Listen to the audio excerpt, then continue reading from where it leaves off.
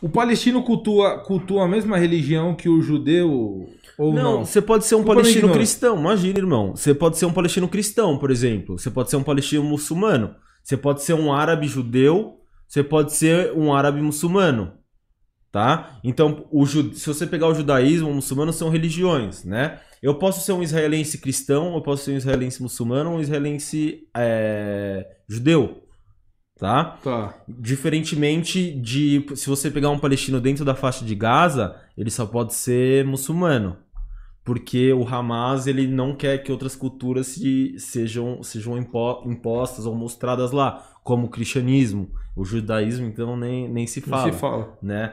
E, então, isso que é, é, é, é muito louco. Você vê pessoas criticando Israel, sendo que é a única democracia no, no Oriente Médio, é onde você pode ser, meu, é, homossexual, heterossexual, você pode ser o que quiser lá e você não vai sofrer consequências. A gente tava falando até aqui em off, né? Na faixa de Gaza, se descobrem que você é homossexual, vão te amarrar numa moto e vão te arrastar vivo até você morrer, pra você servir de exemplo pros outros, né? Então, assim, a gente entra numa guerra ideológica muito louca. E vocês estão reclamando do Bolsonaro, que o Bolsonaro é homofóbico. Vocês estão tirando, hein, mano? Vocês estão tirando. Vai lá pra vocês verem lá. Viu? Vai lá.